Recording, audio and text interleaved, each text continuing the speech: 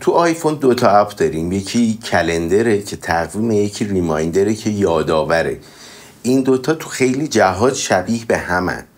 از اون بر اپ ریمایندر یه اپی بود که خیلی محدود بود و اصلا طراحیش طوری بود که کاره امروز تو می‌بینی. ولی هی باید بشینی بنویسی کارا رو. و آخر کارم این شکلی در میاد که اینکه تو ماه گذشته چی کار کردم و اینا راحت نمی‌تونی همش رو تو یه نگاه ببینی. اما خب اپ تقویم خیلی مرتب رو تاریخ همه چی رو داشتیم و خیلی ها ترجیح می‌دادن از اپ تقویم فقط استفاده کنن. حتی برای یادآوری کارهای روز. دیگه حالا لیست خرید یه شیر دوغ فلا اینا بخرم اونا میره تو ریمایندر که همون هم باز خود من می آوردم رو کلندر استفاده ای لازم بود. اما الان تو iOS 18 اپ ریمایندر با اینکه جداست اما اومده داخل کلندر. یعنی هم جداگونه به ریمایندر دسترسی داریم هم از توی تقویم. البته این کلندر تغییرهای دیگه ای هم داشته. میریم تو کلندر و اونجا که حالت عادیه. می‌خوایم یه ایونتی چیزی اضافه کنیم. به علاوه رو می‌زنیم این بالا می‌بینیم یه تب اضافه شده ریمایندر. این دیگه اصلا رفت تو داستان ریمایندر و مثلا داستان فلان. خب نوتش هم یه چیزی می همینجوری. تاریخش رو می‌تونیم اینجا مشخص کنیم. ساعت هم می‌تونیم بهش بدیم که ساعت فلان باشه یا اصلا نه کل روز باشه. تکرار بشه تو چه لیستی بره لیست ریمایندرها. جزئیاتش حتی می‌تونیم تعریف کنیم که اینو امروز هر وقت من از خونه رفتم بیرون مثلا یادم بنداز. میایم اینجا location رو روشن می‌کنیم. home و arrive home i ه جلوش می‌زنیم و leaving رو می‌زنیم اینجا. و محدوده می‌تونیم اینجوری تغییر بدیم از اینجا. خب add و اینجا می‌زنیم و الان من یه reminder اضافه کردم که هر وقت خونه رو ترک کردم امروز یادم بنداز که داستان نوشته بودم همچین چیزایی. اما یه چیز دیگه ای که اضافه شده به app calendar حالتهای دیدنه. می‌بینین اینجا همه نقطه هست اینجا دو تا نقطه کنار هم داره رو بیستم دو تا ریمایندر داریم اینجا.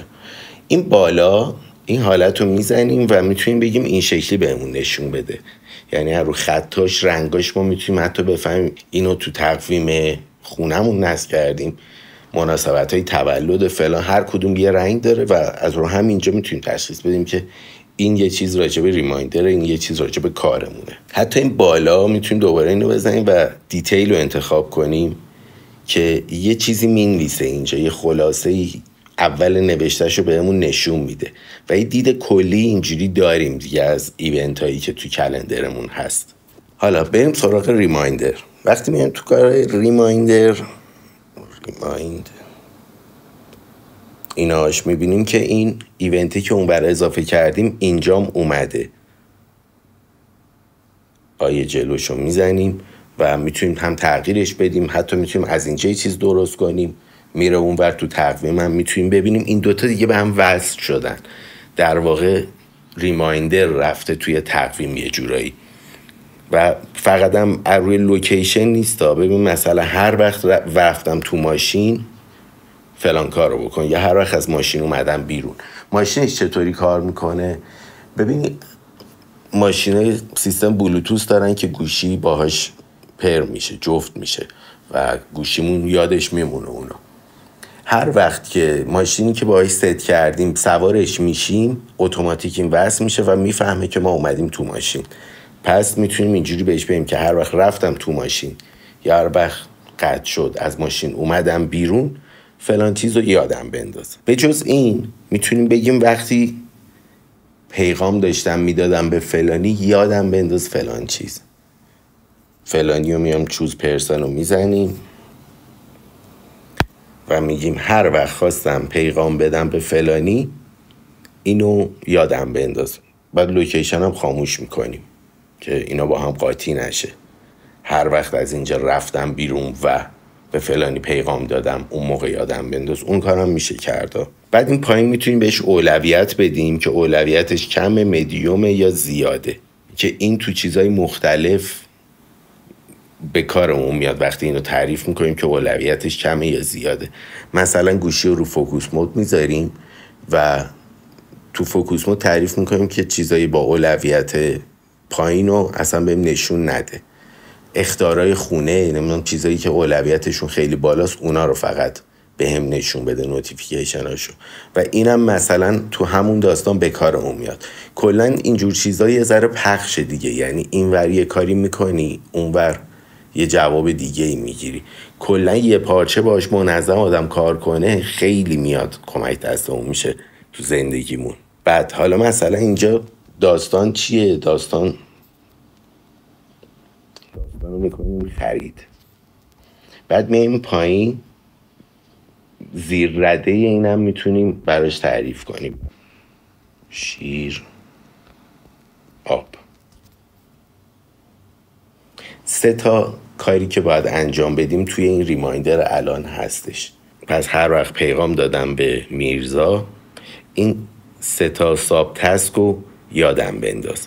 بعد اینجوری ماست رو خریدیم تیکش می‌کنیم. شیر رو خریدیم تیکش می‌کنیم آب نخریدیم مونده. این تست هم میگیم انجام شده. هر چیزی که انجام میدیم و نقطهش رو می‌زنیم. بعد حالا مثلا تو همین اپ ریمایندر میایم تو تودی و همین یه دونه مونده. subtask رو می‌زنیم می‌بینیم آب و هنوز نخریدیم. حالا می‌تونیم بیایم روی کامل شده ها و می‌بینیم مثلا اینجا شیر و ماست تیک شده است. حالا ماست رو نخریدیم اشتباهی دستمون خورده دوباره برمیگرده این بر الان. تیکش از اونجا تو completed برداشتیم و دوباره برگشت. برمیگردیم اینجا کامل شده هاست همش. اونایی که هنوز انجام نشده و اونایی که مال امروزه اینجوری تو ریمایندر اینا رو دسته بندی می‌کنه. و تو کلندر هم که می‌بینیم دیگه این خرید همش کامل نشده و شوینگ ریمایندر رو می‌زنیم جزئیاتش رو می‌تونیم ببینیم. خیلی جالب شده بیشتر کاربردی شد این ریمایندر واقعا به در نخور بود و الان یه ذره کاربردی تر شده به خصوص وقتی که اومده رو تقویم و می‌تونی تو تقویم مرتب ببینی برنامه رو. خیلی جالبه از این نظر.